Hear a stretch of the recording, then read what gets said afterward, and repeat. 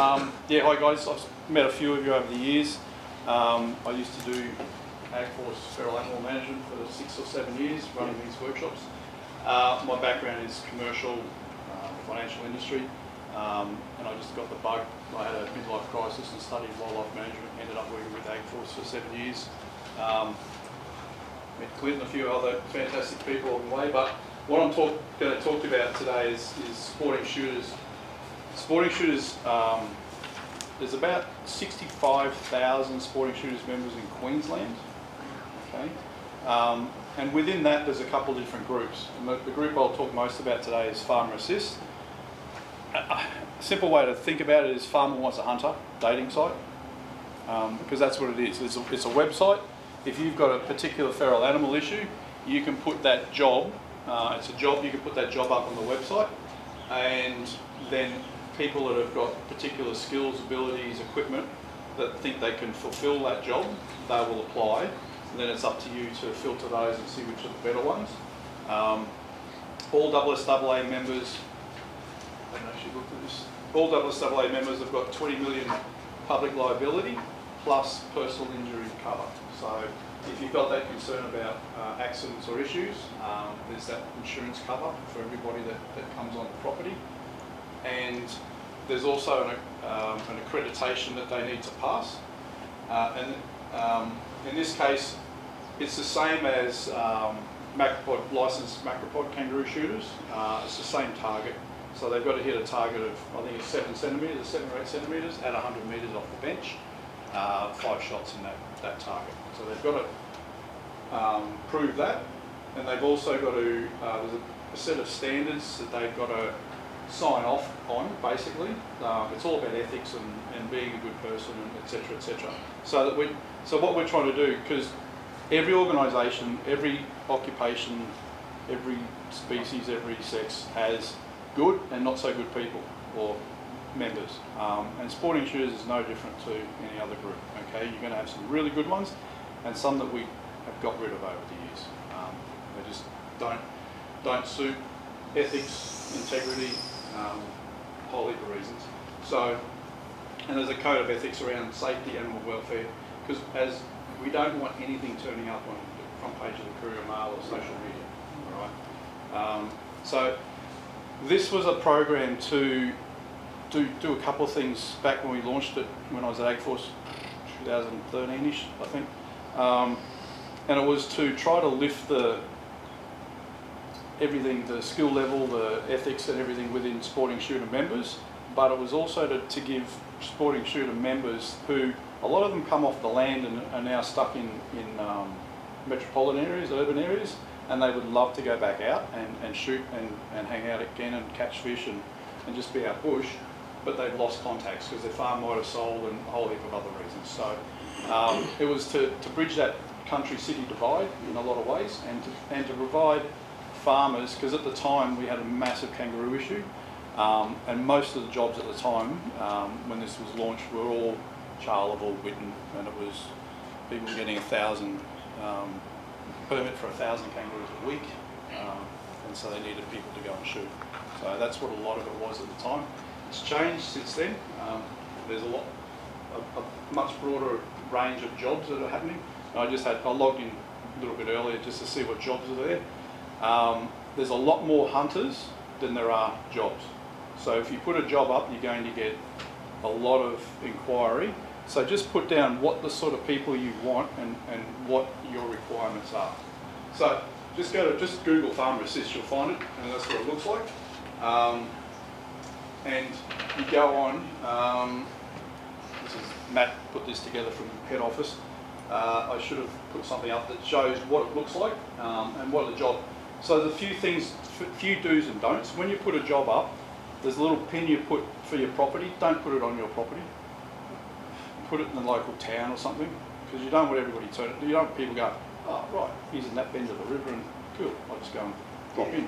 You don't want that. Um, so don't put the, your exact, don't put your property name, don't put in your contact details. They contact through the website and they'll put their contact details and then you can contact through that. And just say, look, if you've got, if it's pigs that you're after, um, you need to control, um, are they local? Can they be there at short notice? Uh, are you, you've got dog issues. Can they trap as well as shoot? If if you're wanting to control dogs, do those members have thermal vision? Uh, who's got who's played with thermal vision? Who's not who's not seen thermal imaging? Not not at all. Some people don't even know what it looks like. You're looking like an emu. Um, thermal vision, uh, thermal vision, and Clint's got it set over there, but we can show you outside if we go outside later. It picks up heat, so you can be sitting in complete pitch black night time and you can see everything in the paddock. Um, you can see dogs turning up, so you can sit there and ambush dogs at night time and they don't know you're there, as long as you're downwind obviously. Um, and so that's a bit of a game changer. It's a massive game changer on pigs as well, because if you're driving around a paddock uh, at night looking for pigs with a spotlight, there'll be pigs outside of spotlight range, but if you pick up a thermal, you'll be able to see them. Um, and you'll see them out of spotlight range, you'll stop and you'll go, okay, what's our, what's our plan of attack? How are we going to sneak up on these things and get more than just one? What sort of range are we talking, you know, with that thermal vision? Oh, at least a kilometre. Easy. Depends on the quality of your. Depends on the quality, You yeah. can, Yeah. yep, and, and it depends on the weather a lot too, with the, the viewing distance. Reliably to see what a target is, is up to a kilometre, Yeah. but you can pick up heat to Yeah. a lot Yeah. further Yeah. than a kilometre. Um, so that's that's basically that that program. There's there's another one. Um, I won't probably won't have a lot of time to go into it. Um, so Matt Godson's the, the only contact really for Farmer Assist in Australia. Um, you can ring me and, and have a chat to me. I've got a login for me as the hunter and me as a landholder, so I can see both sides, um, see how it works. I can't look at any of your stuff. Matt can look at your stuff, and if there's any errors or issues, he can fix that up. Um, and any other questions? Um, so that's that's one program. That's the program where if you've got a, an issue, you can put that job up, and people apply, and then you filter those people. Um, there's another group in Queensland which is uh, Conservation Wildlife Management. Um, and there's only about 500 of us in that group, and we work on national parks in Queensland. Um, that's on hold at the moment until, until they finish their workplace health and safety review. Um, but there's about 60 odd, 60 odd properties across Queensland, including a few islands. They're not there by mistake. Um, where we control feral animals. So a lot of national parks, um, a lot of wildlife, private wildlife sanctuaries as well. So, um, but they're generally, there's one out at Mooney, there's a national park, and of 10 properties around it, it's about 100,000 acres, uh, all up. And every two months we send teams of 15 to 30 people out there, and they camp on four different, five different properties. And we've been working in with the aerial shooting program, the baiting programs, um, and there's scientific studies that happen out there as well. Um, and we also apply for and manage their permit to, um, mitigation permits for the macro, macropods as well, kangaroos. Um, so we manage that process and then each, every property's got a report spreadsheet so they can see what's, how many people have turned up, how many hours are spent, etc., etc. So if you've got large land holdings or semi-government or some other organisation that needs programmed, um, that's a really good option. Um, so it might just be large properties. If you've got a lot of properties that want people there um, very regularly and to work in with what your programs are. And that's that's a higher skill level. You've got to hit the target 100 metres um, five times, plus you've got to be able to do that 100 five times freestanding at 100 metres. So plus there's a training session, plus there's a whole heap of we do the filtering. So if there's any rat bags, they just don't get through to the point that they up on properties.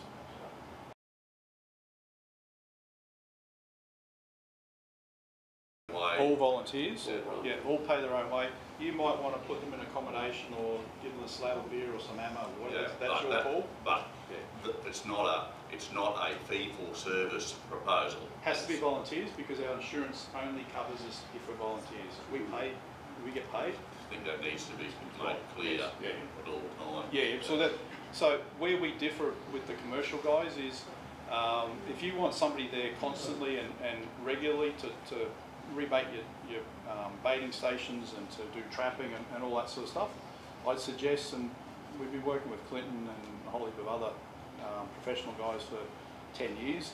Professional guys refer us and we refer to the professional guys because we go, look, that's not our space. Just go and hire a professional. Um, yeah. So, and any jobs that come to us, we will look at it and go, can we actually deliver a, a benefit here? And if we can't, we say, look, get a trapper if it's dogs and yeah. So.